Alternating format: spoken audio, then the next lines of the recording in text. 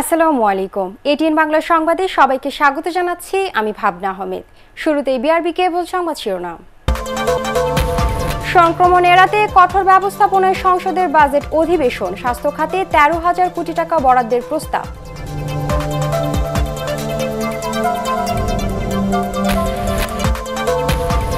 ঢাকার বাইরে রোজ বাড়ছে করোনা ভাইরাস ও উপসর্গের মৃতের সংখ্যা। সিলেটে আক্রান্ত মেয়রের স্ত্রী।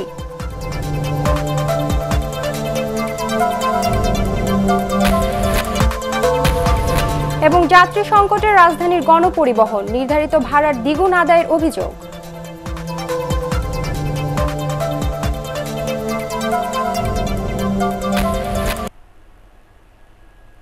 শুনছিলেন বিআরবি কেবল সংবাদ শিরোনাম।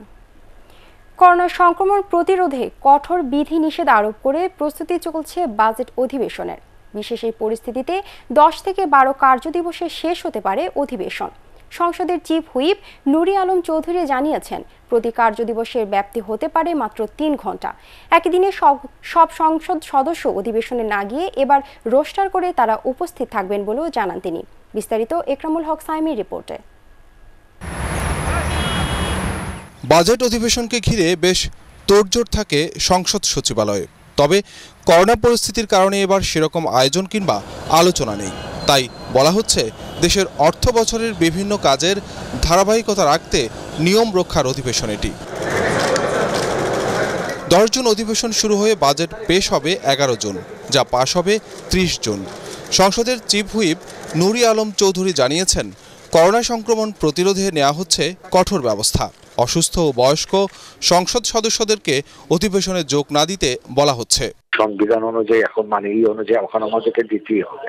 এটা ইমার্জেন্সি ইস্তালা তোমাদের করা কিছু না আমরা কমায় আনব সবকিছু করাই করব কিন্তু বাজেট তো পাশ করাইতেই হবে? সবাইকে মাস্ক পরে দেখতে হবে তারপর আমরা গ্যাপ গ্যাপ করে বসাবো।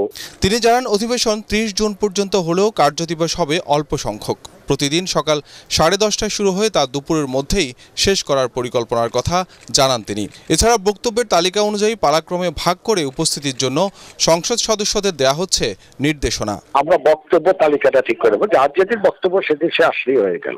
আমরা সেভাবে বলব, আমরা অসুস্থ যারা, বয়সী যারা, তাদের না আসার জন্য অনুরোধ করব সাড়ে দশটা থেকে দেড়টা এটা আমাদের একটা মিনিমাম টাইম চাই বাজেটটা পাস প্রক্রিয়া আছে আমাদের অর্থ বিল পাস করতে হবে। ওই দশ বারো দিন টোটাল এই সেশন চলতে পারে।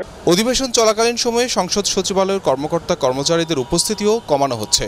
উপস্থিত থাকতে পারছেন না সাংবাদিক কিংবা দর্শনার্থীরাও।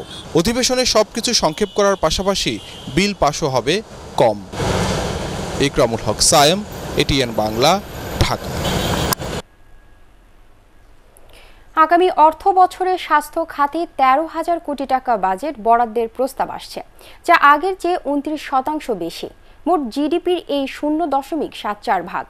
বাজেট চূড়ান্ত হওয়ার আগে এর পরিধি আরও বাড়তে পারে বলে মনে করছেন অর্থনীতিবিদরা। আরও জানাচ্ছেন শারফুল আলম। দেশে করোনা ভাইরাসের সংক্রমণ বেড়েই চলছে। ভয়াল এই মহামারী ভাবিয়ে তুলেছে দেশের স্বাস্থ্য ব্যবস্থাকেও। পরিস্থিতি সামাল দিতে নিয়োগ দেওয়া হয়েছে নতুন সাত হাজার চিকিৎসক ও স্বাস্থ্যকর্মী। কেনা হচ্ছে আইসিইউ, ভেন্টিলেটরের মতো নানা সরঞ্জাম। পাশাপাশি বিভিন্ন ধরনের অবকাঠামো ও প্রযুক্তি সুবিধা দিতেও এবারের বাজেটে নতুন করে ঘোষণা আসছে। কমিউনিটি ক্লিনিককে স্ট্রেংথেন করা হবে, জেলায় জেলায় আইসিইউ করতে হবে অক্সিজেন সরবরাহ বাড়াতে হবে প্রশিক্ষণ বাড়াতে হবে। এবার তো তেরো হাজার কোটি টাকা আমরা বরাদ্দ দিয়েছি। গত অর্থ বছরে স্বাস্থ্য খাতে বরাদ্দ ছিল দশ হাজার কোটি টাকার বেশি। এবার প্রায় উনত্রিশ ভাগ বাড়িয়ে বরাদ্দের প্রস্তাব করা হয়েছে তেরো হাজার তেত্রিশ কোটি টাকা। স্বাস্থ্য খাতে গবেষণা বাড়ানোর তাগিদ দিয়ে বিশ্লেষকরা বলছেন, সঠিক পরিকল্পনার অভাবে কি পরিমাণ অর্থের প্রয়োজন তা এখনও সঠিকভাবে নির্ধারণই করা যায়নি। এ খাতে বেসরকারি খাতে যাদের দক্ষ জনগণ আছে যে সমস্ত হসপিটালে সেখানে কিন্তু আমরা আপাতত তাদেরকে সরকারি ব্যবস্থাপনা এনে এই কোভিড ট্রিটমেন্টের ব্যবস্থা করা যেতে পারে। এবং সেই জন্য কিন্তু একটা প্রকল্প হাতে নেওয়া যেতে পারে। এটা উন্নয়ন বাজেট হোক রেভিনিউ বাজেট হোক এটার যা প্রয়োজন এটা বিস্তৃতি ঘটানোর জন্য স্বাস্থ্য সেবার উন্নতিকল্পে ক্রমবর্ধমান প্রচেষ্টা চলছে। বাজেটে সেটির প্রতিফলন হবে। বাজেটে এর আগে মোট জিডিপির শূন্য দশমিক সাত ভাগ বরাদ্দ রয়েছে স্বাস্থ্য খাতে। সপ্তম, পঞ্চম বার্ষিকী পরিকল্পনায় তা দেড় ভাগেরও বেশি বাড়ানোর প্রস্তাব ছিল। কিন্তু চলতি অর্থ বছরের সংশোধিত এডিবিতে সেই লক্ষ্যমাত্রা অর্জন করা সম্ভব হয়নি। শরফুল আলম, এটিএন বাংলা, ঢাকা। ঢাকার বাইরেও রোজ বাড়ছে করোনা ভাইরাস এবং এর উপসর্গে মৃত্যু ও আক্রান্তের সংখ্যা। গত চব্বিশ ঘণ্টা চার জেলায় আরও ছয় জনের মৃত্যুর খবর পাওয়া গেছে। এর মধ্যে নোয়াখালীতে তিনজন এবং সিলেট, নেত্রকোনা ও ঠাকুরগাঁওয়ে একজন করে মারা যান। এদিকে সিলেট সিটি মেয়র আরিফুল হক চৌধুরীর স্ত্রী শামা হক চৌধুরী করোনা ভাইরাসে আক্রান্ত হয়েছেন। প্রতিনিধির তথ্যচিত্র নিয়ে রিপোর্ট করছেন পরাগারমান রাজধানী ঢাকার মতো বাইরের জেলাগুলোতে বাড়ছে করোনা সংক্রমণ। নোয়াখালীতে গত চব্বিশ ঘন্টায় তিনজনের মৃত্যু হয়। এদের একজন করোনা পজিটিভ, বাকি দুজন করোনা উপসর্গ নিয়ে মারা যান।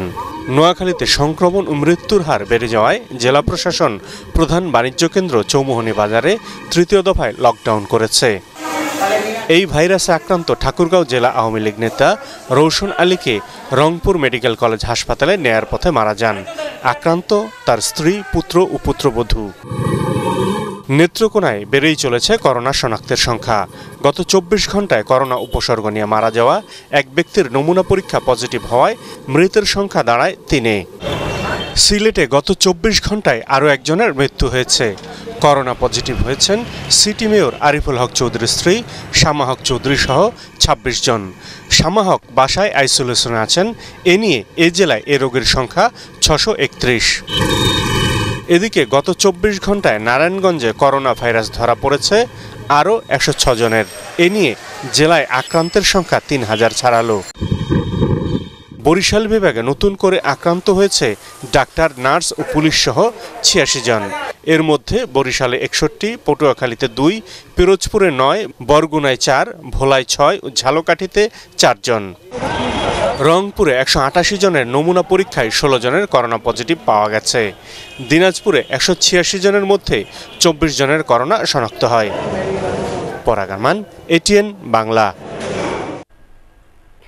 রাজধানীর গণপরিবহনের মানা হচ্ছে না, সরকার নির্ধারিত ভাড়ার হার।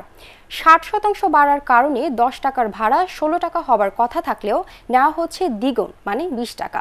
তবে যাত্রী সংকটে বেশিরভাগ বাস। করোনা সংক্রমণ বেড়ে যাওয়ায় জরুরি কাজ ছাড়া কেউ বাসা থেকে বের হচ্ছেন না। তবে দূরত্ব ও স্বাস্থ্যবিধি মেনে চলার চেষ্টা করছে বেশিরভাগ গণপরিবহন। বিস্তারিত শফিউল আলম সুজনের রিপোর্টে। যাত্রীদের টানতে হাক ডাক আগের মতোই। রাজপথে গণপরিবহন চলাচল আবারও পুরনো চেহারায় ফিরতে শুরু করেছে। তবে করোনা আতঙ্কে চাপ কমেছে যাত্রীর। প্যাসেঞ্জার তো হচ্ছে না ডাবল ভাড়া নিলেও হচ্ছে না। না পোষাইলো আমগো পেটটা খাল ডাল পানি খাইয়া বাঁচতে পারব এর জন্য আমরা গাড়ি চালাইতে বেশিরভাগ পরিবহনে জীবাণুনাশক দেওয়া হলেও তা কতটা কার্যকর তা বোঝা দেয় বাসে ওঠার আগে যাত্রীদের স্যানিটাইজার দেওয়ার কথা থাকলেও তা মানছে না অনেকে। দিছি সব যাত্রীরা দিছি জিজ্ঞাসা করেন। আমরা দেয় নাই আমরা নিজেরটা নিজে ইউজ করছি। চালক হেল্পার সহ যাত্রীদের মাস্ক থাকলেও তা সঠিকভাবে ব্যবহার করছেন না। মাস্ক ছিল রাস্তায় হারাই গেছে। মাস্ক তো আছে কান ব্যথা হয়ে গেছে ভাই কান ব্যথা হয়ে গেছে। যাত্রী রাখতে আসি না এই কারণে খুলে রাখতি বাড়তি যাত্রী তো দূরের কথা অধিকাংশ সময় সরকারি নির্দেশনার চেয়েও বেশি আসন থাকছে খালি। আর বাড়তি ভাড়া গুনতে হচ্ছে যাত্রীদের। দশ টাকার ভাড়া বিশ টাকা নিচ্ছে ষাট পার্সেন্ট ভাড়ার কথা ছিল কিন্তু এখন একশো পার্সেন্ট ডাবল নিতেছে সিএনজি চলাচল বাড়লেও সেগুলোর বেশিরভাগে নেই স্যানিটাইজার। স্প্রে দরকার ছিল না এখন কি বলব নাই তো। স্প্রে রাখছিলাম ভাই চুরি করে নিয়ে গেছে সকালবেলা গ্যারেজ থেকে ভাই। শফিল আলম সুজন এটিএন বাংলা ঢাকা। করোনাকালীন ঝুঁকি ভাতা প্রদান ও অতিরিক্ত মজুরির টাকা বাড়ানো সহ সাত দফা দাবিতে বিক্ষোভ করেছে ঢাকা ওয়াসা শ্রমিক ইউনিয়ন। রাজধানীর কাউরান বাজারে ওয়াসা ভবনের সামনে আয়োজিত মানববন্ধনে সংগঠনটির নেতারা এ দাবি জানায়।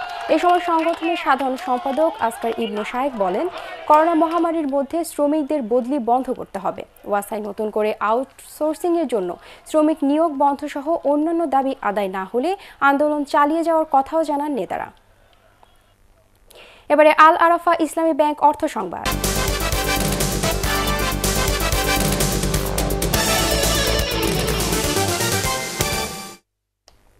দেশের সবচেয়ে বড় আমের বাজার চাপাই নবাবগঞ্জের কানসার্টে শুরু হয়েছে বেচাকেনা। তবে করোনা ভাইরাসের কারণে ক্রেতাদের উপস্থিতি তেমন নেই। বাগান মালিকরা জানান, এবার মন প্রতি আম দুই হাজার টাকায় বিক্রি হচ্ছে।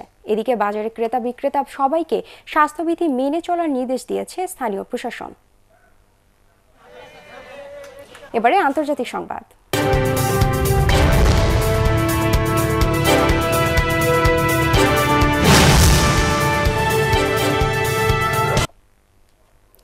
ইউরোপ সহ বিশ্বের বিভিন্ন দেশ ছাপিয়ে ক্রমে করোনা ভাইরাসে হটস্পট হয়ে উঠেছে ব্রাজিল। দেশটিতে প্রতিদিন ভাঙছে আক্রান্ত আর প্রাণহানির রেকর্ড। ব্রাজিলের স্বাস্থ্য মন্ত্রণালয়ের তথ্য মতে, সে দেশে গত চব্বিশ ঘন্টায় মারা গেছে এক হাজার দুশো বাষট্টি জন। এ নিয়ে সেখানে মোট মৃতের সংখ্যা একত্রিশ হাজারেরও বেশি। এবারে জানাব স্ট্যান্ডার্ড ব্যাংক বাণিজ্য সংবাদ।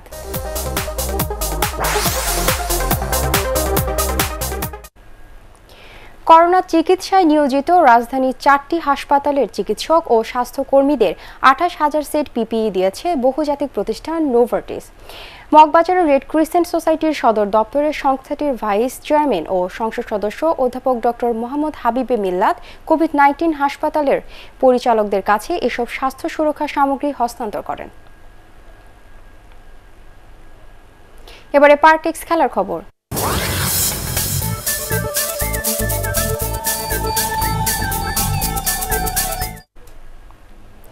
করোনা ভাইরাসে আক্রান্ত হয়ে মারা গেলেন পাকিস্তানের সাবেক ক্রিকেটার রিয়াজ শেখ। মৃত্যুকালে তার বয়স হয়েছিল একান্ন বছর। এর আগে গত এপ্রিলে জাফর সরফরাজ নামে এক ক্রিকেটারের করোনায় মৃত্যু হয়েছিল। জাতীয় দলে না খেললেও উনিশশো সাতাশি সাল থেকে দু হাজার পাঁচ সাল পর্যন্ত তেতাল্লিশটি প্রথম শ্রেণির ম্যাচ ছাড়াও পঁচিশটি লিস্টে ম্যাচ খেলেন রিয়াজ শেখ। কোভিড নাইন্টিন শনাক্ত হওয়ার পর রিয়াজ শেখ হাসপাতালে চিকিৎসাধীন ছিলেন।